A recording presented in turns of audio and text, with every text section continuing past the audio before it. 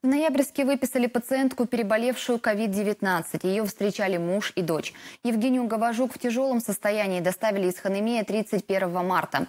Она находилась в реанимации без сознания и была подключена к аппарату ИВЛ.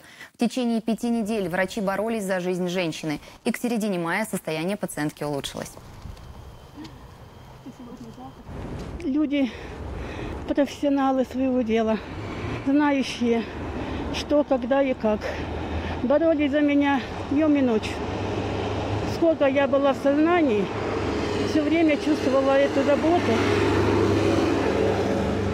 чувствовала вот это внимание, и это давало мне силы выжить и прийти в себя. Перед выпиской Евгения прошла ряд медицинских тестов на коронавирус. Все они отрицательные.